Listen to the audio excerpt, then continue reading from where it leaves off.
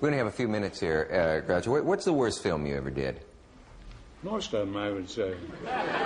No, now you know that in, when your movies play at the various places around the country, that they the can't, you can't get into them. There people just line up for blocks, and they're hotter than they've ever been now. And It's a strange thing, and this is true. When we made these pictures, we, we didn't get any fan mail, occasional letter of somebody. yeah, But now, it's 35 years since the pictures, we get over 100 letters a week, fan mail. yeah, The kids are crazy about these pictures, I know. and Yeah. it's, it's most Who owns them extraordinary. now, Groucho? Do you, do you, the boys, I'm sure that, We own pieces of some of them. You do? We don't own all of them. We weren't that bright. that's right, nobody, uh, when you try to save film, even today, the stars never saved anything Mm-hmm. or owned anything that they had. The only one was Mary Pickford, and I think Charlie Chaplin owns all of his, right? Oh yes, he was very But shrewd I, I was that. hoping maybe that, that you boys had uh, produced yours and owned them. The nicest compliment I've had was Chaplin. I was I met him in the Brown Derby one day many years ago. He said, "I wish I could talk on the screen the way you do." I said, "I wouldn't worry about it. You're doing all right." He had fifty million dollars by that time. Now his pictures are coming back, and they should because Oh, he was the greatest comedian. There's no doubt about it. And probably the richest, uh, Richest, I would say. They say he has, actually has gold bricks in the cellar in, uh, in, in But Switzerland. when he left here, he wasn't allowed to take anything. That's right. So but, but he he had seen it, to the uh, rights of his films, which supported He, him. he saved his film, but he didn't sell them for many, many years. So he was lucky to have overcome it. Didn't you all marry late in life? All the brothers married relatively late. I mean, oh, I believe Harpo was in his 40s. Harpo, Harpo was around 37 when he got married. Yeah. He had seen what happened to me in my marriages and decided to stay single as long as possible. What is the right age to marry? The first time I got married was the right age, 30. Yeah. Are you proposing? No, no,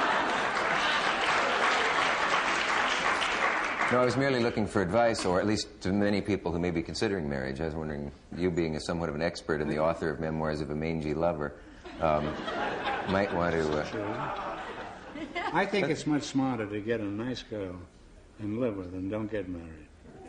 do you? Yes, I think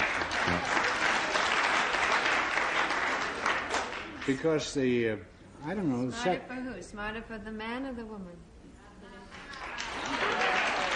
I'll tell you what I think. Don't tell me.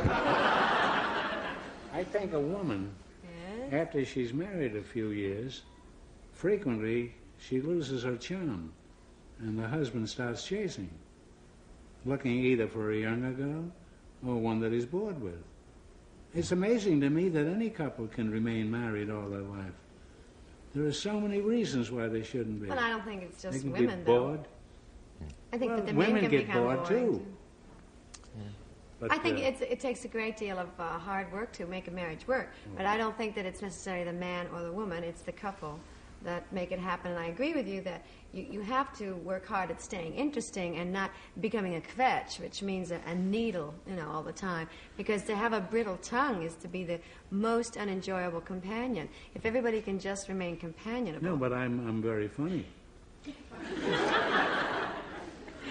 we were talking about you. We were saying All- in general, See, in general. No, no, I'm talking about me. I'm not interested in generals.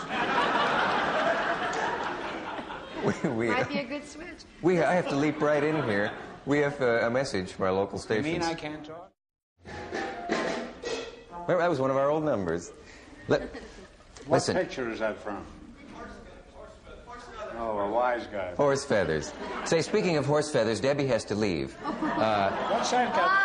No, I was just making a transit because she's late for a USO thing or something, and I wanted to uh, let you. It was really fun being with Groucho. I love you. It's wonderful. Wonderfully talented But man. do one of your elaborate exits for us, would you? Where you sort of sail off.